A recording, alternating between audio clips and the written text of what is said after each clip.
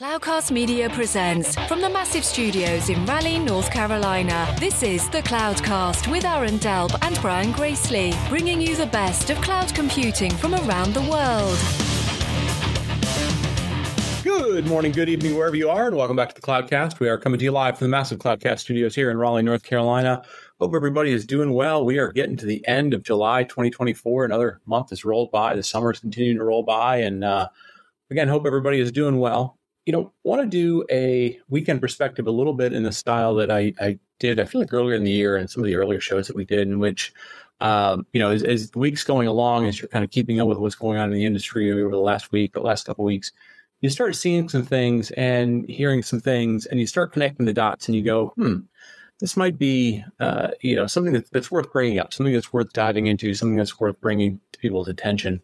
And this week, you know, what sort of triggered it, as it did for many people, was, uh, you know, we saw the the outages that happened all over the world, uh, impacted things like airlines and other stuff. I know for myself, I was finishing up vacation. Uh, my family got stuck uh, in the Atlanta airport for two or three hours. Not so much because of canceled flights, but I think we were sort of at the end of it. Uh, you know, kind of dealing with the the backlog of flights. And so we, you know, we sat in the Atlanta airport, I think, for three or four hours. So we didn't get the worst of it. Obviously, lots of people got uh, much more. But what got me thinking was, you know, earlier in the week, I think before I left for vacation, I was, you know, kind of scrolling through Twitter and saw an interesting, you know, blurb, kind of a, a thing from people I, I, I, like and trust a lot. Um, and the, the, the name of the article was uh, essentially uh, the, the industry or the career of network engineering is dying.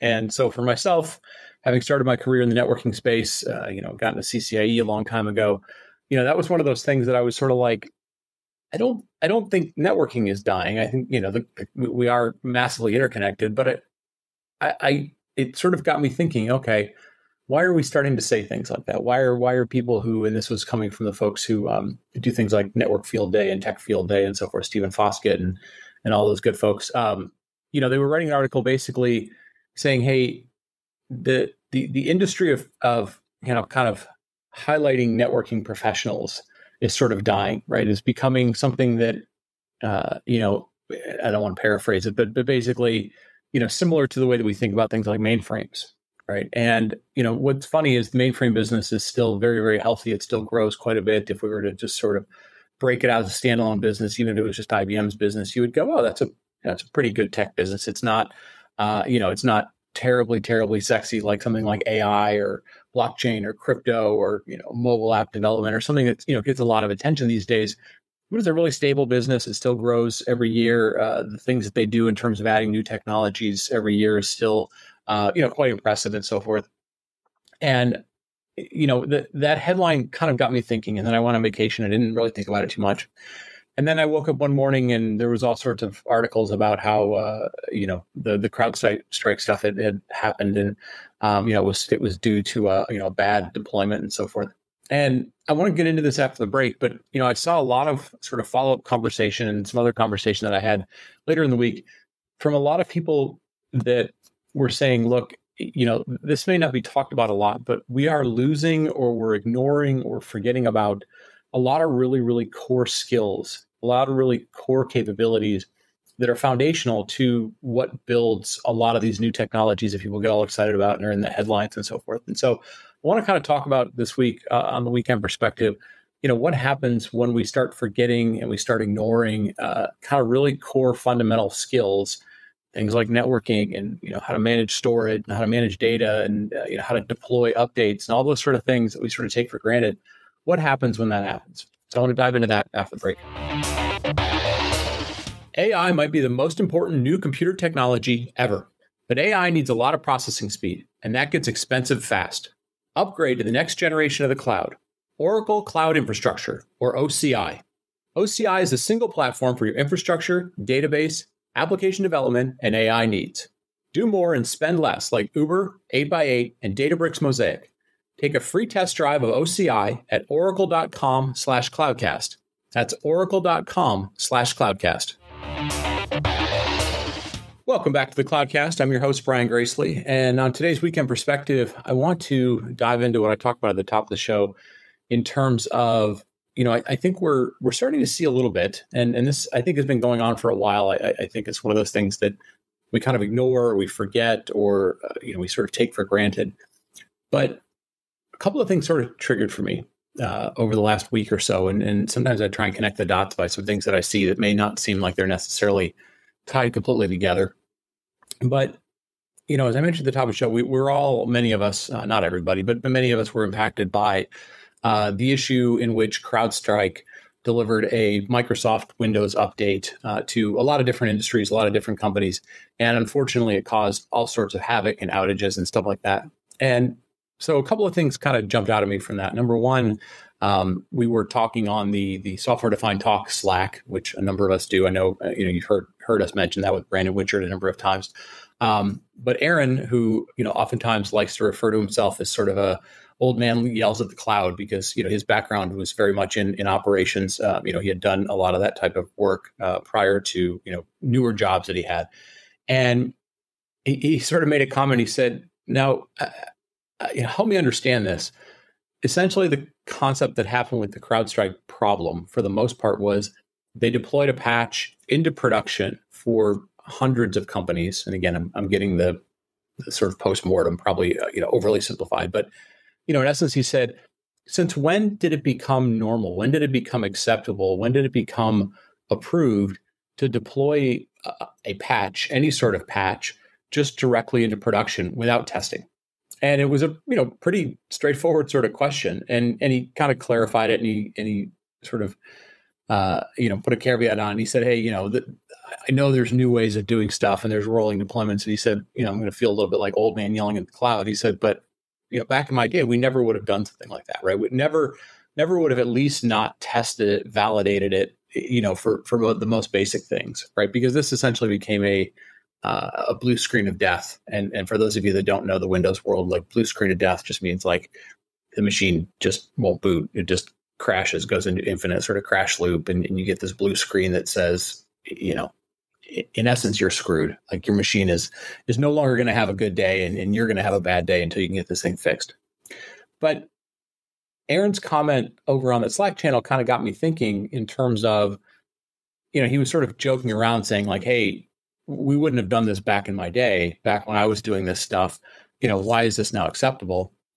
But i think it it sort of highlights a, a bigger issue we have and, and to a certain extent i think the cloudcast is you know probably as, as much to blame i don't know as much to blame but we're we're in the bucket of people that you could point some fingers and blame at that is an industry we've we've fallen in love and sort of accelerated that falling in love with new with what's what's new and sort of forgetting about the foundation we've we've really kind of taken for granted or forgotten how difficult it is to make the systems that run underneath all the new stuff that we do, whether it's streaming video or social media or blockchain or AI or whatever the heck it is, we've sort of forgotten how difficult it is to to build those sort of systems. Again, whether you're running them on premises or in the cloud, you know how hard it is to secure those systems, how hard it is to make them highly available, and and the people that used to be very visible uh, in lots of different technology circles talking about you know how do you go about doing that have essentially, uh, you know, I don't want to say been marginalized, but the viability of those discussions has sort of been forgotten. We, have sort of just taken it all for granted. It's sort of uh, a little bit like when you drive down the road, you forget how long it takes to build roads. You forget how long it takes to to build bridges and and you know the difficulty of building things like bridges and you know things like that. And so there was a couple of things this last week or two weeks or so that kind of jumped out at me that made me think, you know, maybe there is a need for whether it's us on the cloudcast, whether it's the industry as a whole, to sort of get back to thinking about, wait a second, are, we are we building all these new things on top of a foundation that's sort of forgotten what what it takes to build really stable, secure, highly available foundations. And so here's a couple of things that I saw.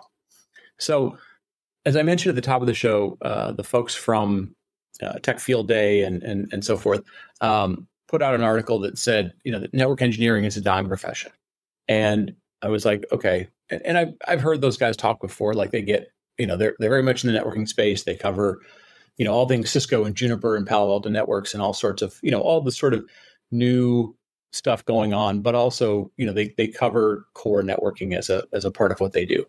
And that may or may not be for everybody, but it's a really super important thing because if the network's not there, as everybody knows, whether you're on a plane or at your house or you're in your office building or whatever it is, if the network's not there, nothing else matters. And so, you know, they put out this article that said network engineering is a dying profession.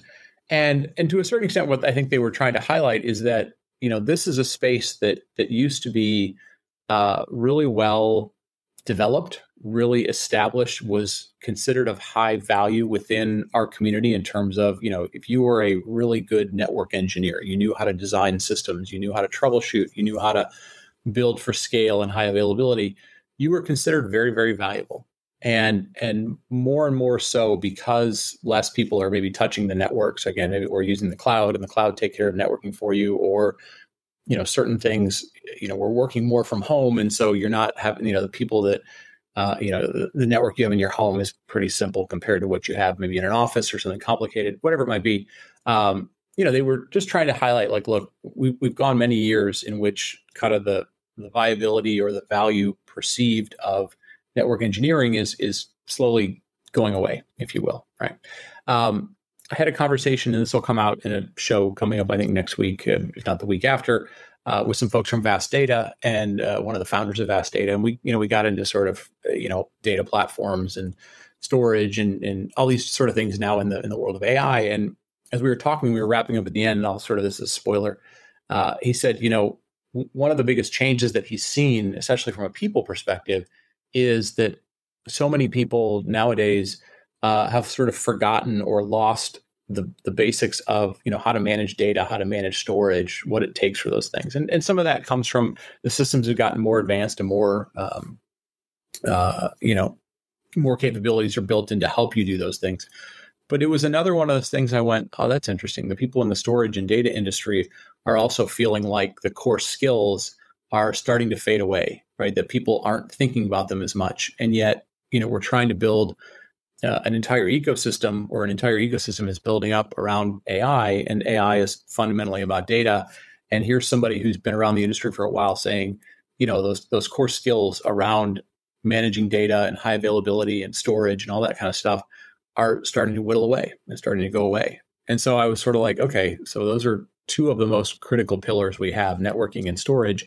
And people in that industry are starting to feel like, okay, the, the skill set isn't necessarily there. We're not necessarily developing those skill sets.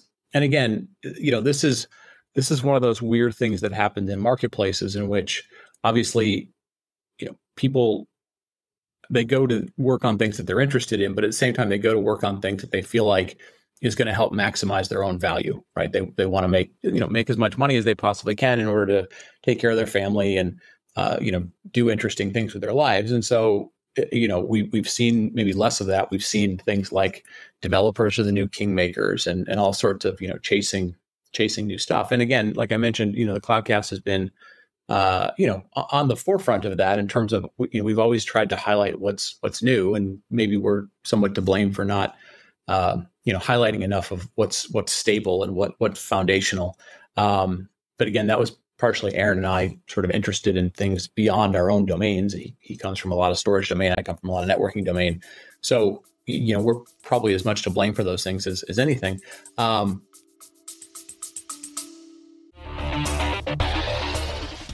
Did you know that 95% of digital products fail within their first year of launch?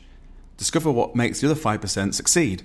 Brought to you by the leading digital product agency Infinum Delivered is your window into innovative business solutions powered by technology. Each month, we interview business leaders and innovators behind successful digital products to unbox their success strategies. You can find Delivered wherever you get your podcasts.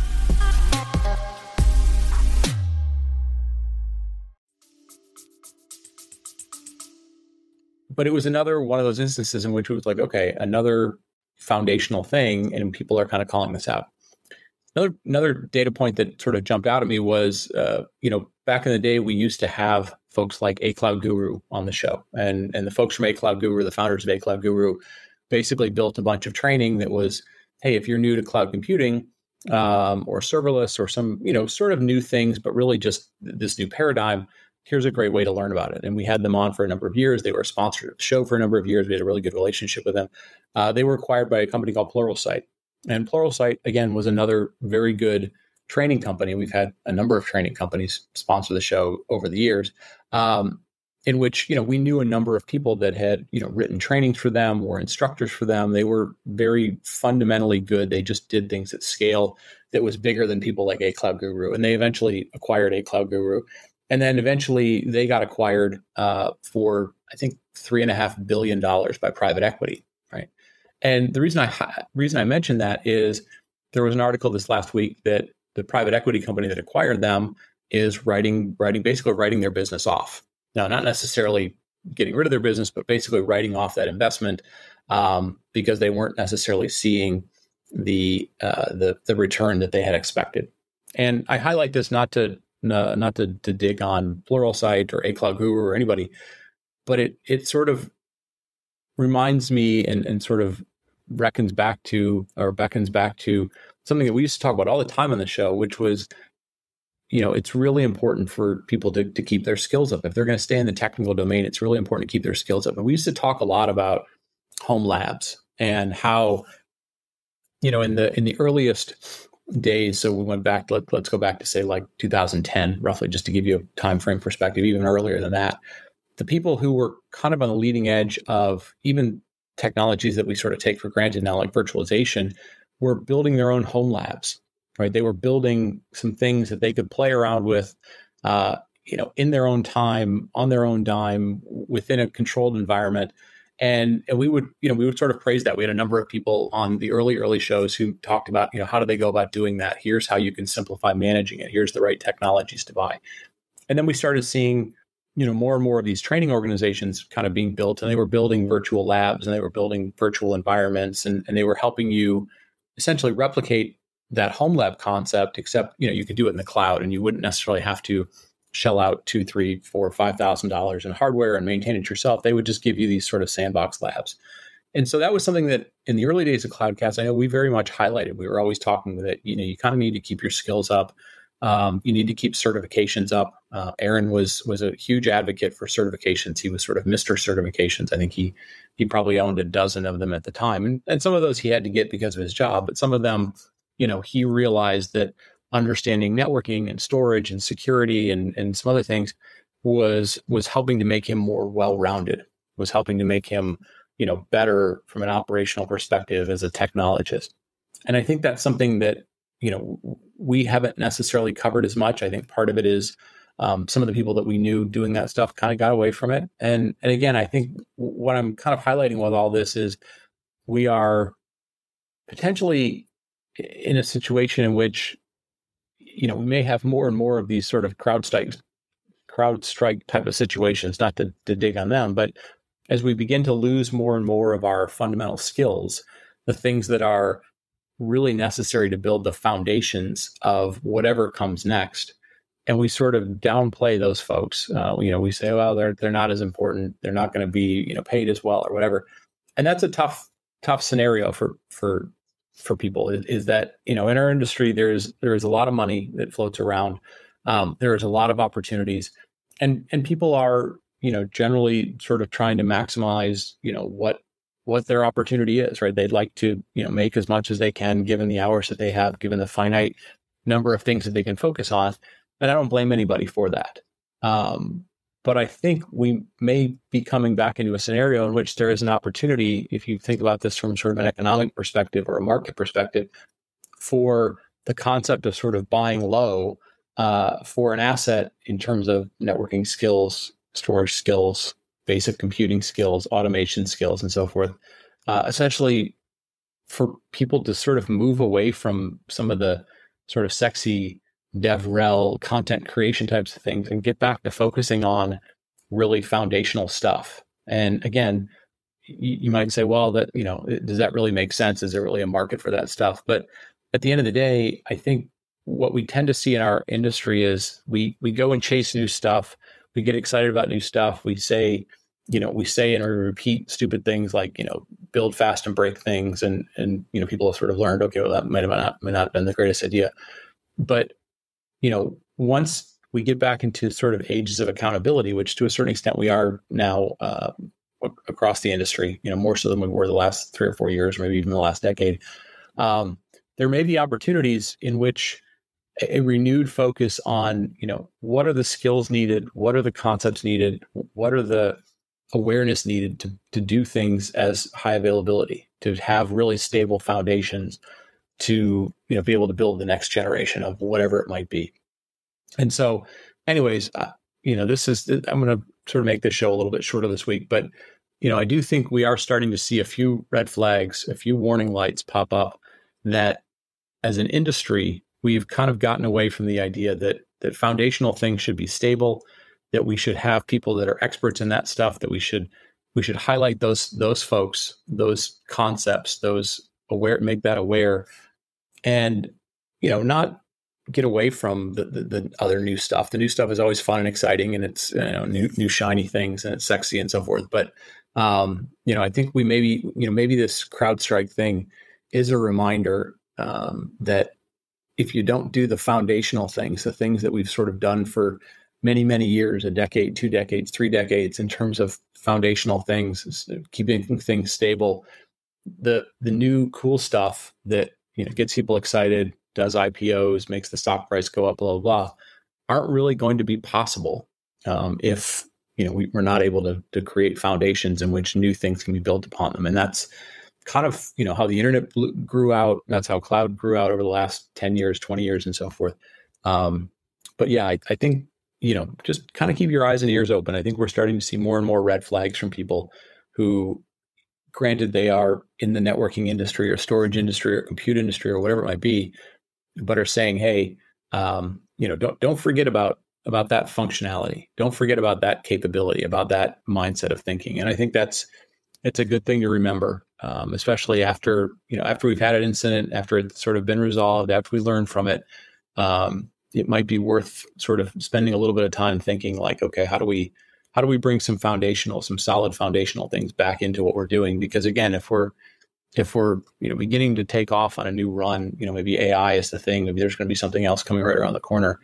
Um, you know, if those foundational things aren't in place, if you can't network at scale and keep it up all the time, if you can't do basic operations and automation, if you can't manage data and so forth, um, it's going to make for very bad days for for a lot of other things that live on top of it. So, anyways, just a, a weekend perspective, couple of thoughts, couple, connecting the dots on a couple of things that, that we've seen lately, and uh, you know, maybe just raising a little bit of a, of a yellow flag or a red flag to, to get people to go, hey, um, you know, if you're in this space, uh, there, there may be there may be room for for you and for others to to sort of bang that drum again. That uh, you know, it's important. It's important to have really stable foundations and fundamentals and so forth. So, anyways, with that, uh, hope you all had a, a good July. We will be doing uh, Cloud News of the Month for August or for July here pretty soon. We'll get that out pretty quickly. And uh, hopefully everybody's doing well. Hopefully everybody is uh, enjoying the the sort of end of summer as we start to see uh, people talking about getting back to school and so forth with the kids. I know Aaron and I are taking the kids back to school here in the next couple weeks or so.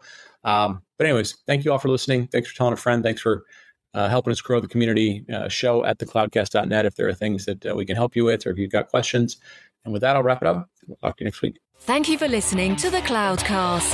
Please visit thecloudcast.net to find more shows, show notes, videos, and everything social media.